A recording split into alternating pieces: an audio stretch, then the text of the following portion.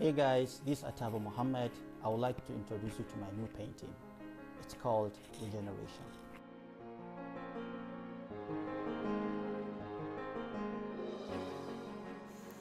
Regeneration is an abstract painting that captures the concept of rebirth. It comprises a combination of white and yellow Gerbera flowers which gives the painting a rich, colorful look. The few sunflowers also adds to that as well. I love creating floral abstractions and on this one I give the images a 3D look on the canvas which gives the whole painting a level of solidity.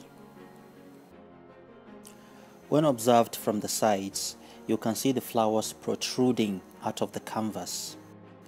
A more detailed presentation of that solidity can be felt when looked even closer.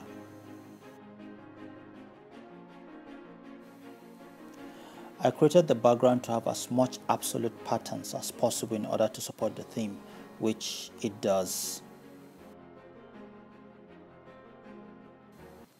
Rebirth happens when an individual or a society makes the right choices and takes the right steps to have a better life, especially after moments of regression due to one misfortune or the other.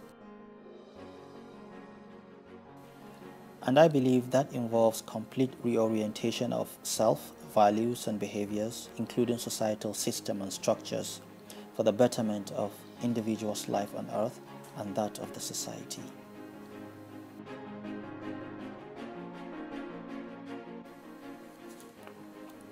The world is plagued by issues we've created by our own hands, from wars and conflicts to climate change and diseases to individual corruption, moral decadence, and failing family and societal institutions. But even though we plunged ourselves into this, we are also more than capable to change all that. Men have evolved, especially in the past century, and dared to change the world in their little ways by uh, taking the right steps towards making our lives better and the world a better place. I believe we are more than capable to create a new world, a new future, to regenerate.